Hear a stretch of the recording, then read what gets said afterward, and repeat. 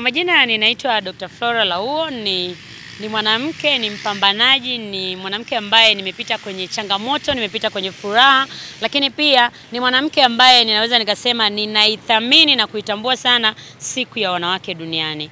Siku ya wanawake duniani ni siku ambayo inatukumbusha mengi. Mwanamke ikifika hii siku ya wanawake duniani inatakiwa ukumbuke na ujifunze, lakini unapokuja kurudia siku nyingine, mwaka mwingine, ujiulize huo mwaka mzima we kama mwanamke umefanya nini.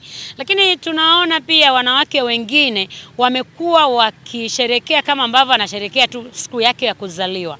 Ni tofauti siku ya mwanamke duniani na siku yako ya kuzaliwa. Siku ya mwanamke duniani inatakiwa tuithamini, tuitambue na tujue ni nini ambacho kinahusika kinachotakiwa kufanyika siku ya mwanamke duniani. Tunajifunza nini? Na kama mwaka uliopita siku ya mwanamke duniani kuna uh, malengo uliojiwekea we kama mwanamke na hujayatimiza na imekuja siku nyingine ya mwanamke duniani, inabidi ujitafakari sana. Lakini pia tukija kwa upande mwingine, siku ya mwanamke duniani, sisi wanawake tunasherehekea siku ya mwanamke duniani, lakini sisi sisi wanawake tumekuwa uh, chanzo cha kuleta mgogoro kwenye jamii, haswa kwenye watoto ambao wanalelewa walioacha wazazi kwa mfano, au watoto waliotelekezwa, au hata watoto wetu tunaowalea sisi wenyewe. Ukiangalia, mimi nimekuwa nikifanya kazi ya jamii miaka mingi sana, kwa hiyo nimekuwa nikikutana na kesi za ajabu ambazo wanawake wanafanya. Wanawake wanatoka kwenye ule utu wao wakiwa mama anamfunga mtoto mikono na miguu, anamweka kwenye moto, kitu ambacho hakitufurahishi wanawake, na ndio maana siku ya mwanamke duniani tunatakiwa tujifunze kulea na kuishi na jamii yetu iliyotuzunguka uh, kama mwanamke. Lakini pia natamani kuongea na wanawake. Sisi wanawake mara nyingi tumekuwa tukiona tunaonewa, tunaonewa, tunaonewa. Siku ya mwanamke duniani, jifunze kwamba wewe ni mwanamke, una uwezo wa kujisimamia na kujisimamia sio sasa ujimwamba fai kwamba una uwezo wa kujisimamia na kufanya kila kitu, kwa sababu wanawake wengi tunaongea sana. Baba akiongea maneno mawili, mama ameongea maneno kumi na sita na hicho tumepewa, na ndio maana uh, tunaambiwa mwanamke anaishi zaidi ya mwanaume. Ni kwa sababu pia tunaongea sana, wao wanakufa nalo moyoni. Kuna mwanamke kweli ambaye tulimsaidia kupitia taasisi ya Nidete Foundation, na mwanamke huyu amezaa na ni mwanamke ambaye pia ana mpaka wajukuu. Kwa hiyo wale wajukuu means ana mpaka wakwe zake ambao walizaa na watoto wake wale wajukuu. Lakini mama yule tulimkuta akiwa na mpira wa mkojo amekaa nao zaidi ya miaka minne. Kwa hiyo ukiangalia lile tukio tulilibeba aa, na tulimtoa ndani. Tunashukuru waziri uh, waziri wetu dada yetu mama yetu waziri Dorothy alilipigania kipindi kile, alikuwa waziri wa afya, alilipigania na alifunga safari akaja Mwanza. Tulim tulimsaidia yule mama, lakini mwisho wa siku kutokana na maradhi alikuwa yameshamwingia sana, alipoteza maisha.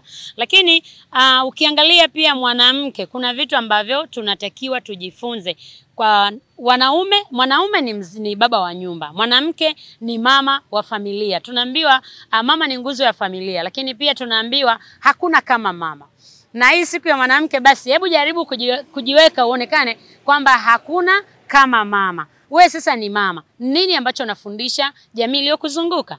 Lakini pia sio mama peke yake anaweza akatengeneza jamii au akasaidia jamii, hata baba vile vile.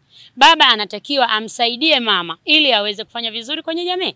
Lakini pia na kina baba waangalie uh, matendo anayoyafanya kwa wanawake, sio matendo mazuri. Kwa mfano sisi wanawake wengi tumeolewa na ukia, kuna tatizo ambalo nimekuwa nikikutana nalo ninapokwenda kwenye kwenye kesi hizi za jamii, lakini pia na kesi ambazo zinanihusu mimi. Uh, niliwahi kuongea na karani mmoja akaniambia, kwa mwezi ndoa zinavunjika sio chini ya hamsini kwenye mahakama moja. Kwa hiyo hili ni la kujifunza. Sisi wanawake tunaachika na tunaachana na waume zetu, tunaomba talaka na maisha mengine yanaendelea. Lakini nikirudi kidogo kwa wanaume, au nadhani ni wanaume sana, kwa sababu wanawake hatuwezi kufanya kufight. Unachana na mme wako, yeye anaendelea na maisha yake na unaendelea na maisha yako. Lakini inatokea wanaume sasa wanawanyanyasa sana wanawake, wanafight na wanawake, haswa ukikutana na mwanamke ambaye ana uwezo na yule aliyemwacha hana uwezo, yeye nguvu yake kubwa anaiweka kufight na yule aliyemwacha. Kwa hiyo hapa kuna vitu vya kujifunza siku ya mwanamke duniani. Mwanaume unayenitizama, maisha kuna kuna maisha baada ya ndoa, kuna maisha zaidi kuliko ndoa.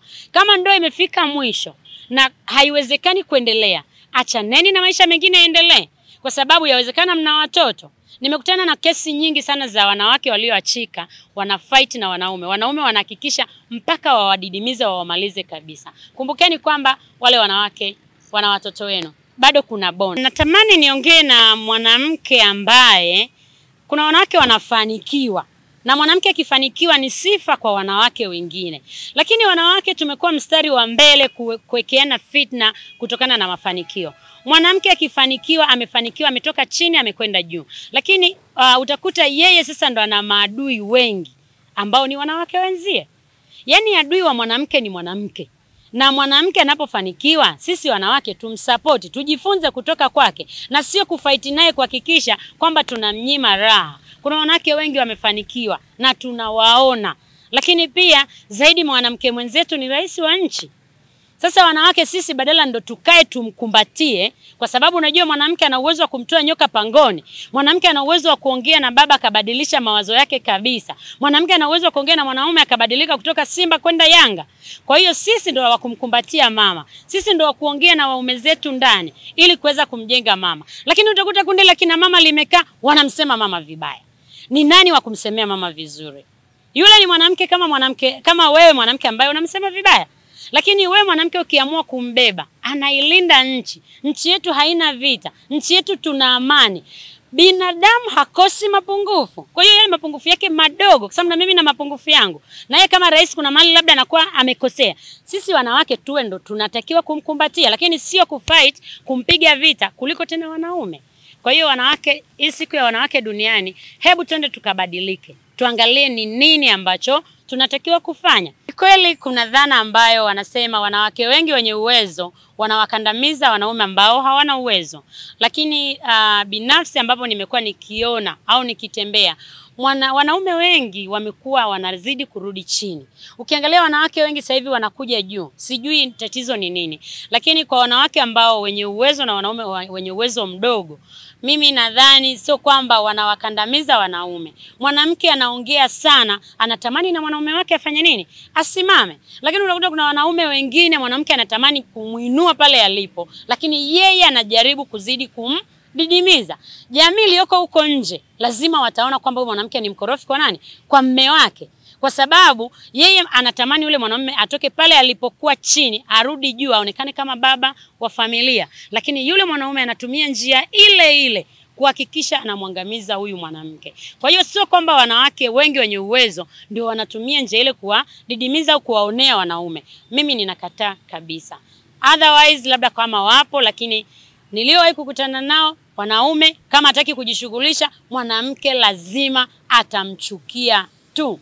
Hauwezi mwanamke kwenda kutafuta, unamkuta tu baba yeye anacheza karata, anacheza bao, anaenda huku, anaenda kijueni, wewe una fight usiku na mchana kuhakikisha watoto wanasoma. Wanawake wengi ndio wanasomesha watoto, wanawake wengi ndio wanajenga, wanawake wengi wamekuwa ndio mstari wa mbele kuhudumia familia.